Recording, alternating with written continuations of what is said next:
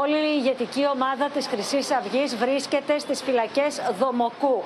Να σας πω ότι θα βρίσκονται σε κελιά απομόνωσης και μάλιστα σε θαλάμους τις πρώτες 14 ημέρες καθώς υπάρχει απομόνωση του κορονοϊού και από εκεί και πέρα θα έλεγα ότι αρχίζει η σπαζοκεφαλιά για τους σοφρονιστικούς υπαλλήλους καθώς υπάρχουν πολλοί ξένοι εντός εισαγωγικών που παλιά ήταν σύντροφοι και τώρα έχουν βρεθεί κάτω από την ίδια στέγη.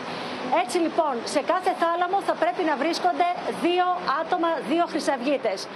Όμως, σε καμία περίπτωση, σύμφωνα με τα μέχρι τώρα στοιχεία, δεν πρέπει να βρίσκονται στον ίδιο θάλαμο και μετά στα ίδια κελιά Μιχαλολιάκος, Κασιδιάρης, Γερμενής. Κανένας λοιπόν από αυτούς τους τρεις δεν θα πρέπει να είναι μαζί στο ίδιο κελί. Επίσης δεν θα συγχρονίζονται μαζί και επίσης δεν θα συγχρονίζονται μαζί και με, τα, με τους υπόλοιπους καταδικασμένους στη συγκεκριμένη φυλακή. Ε, η απόφαση αυτή έχει πάρθει, καθώς το προηγούμενο διάστημα, επαναλαμβάνω, αυτοί που κάποτε ήταν σύντροφοι και ήταν στο ίδιο κόμμα, τώρα πια είναι στην ίδια φυλακή καταδικασμένοι.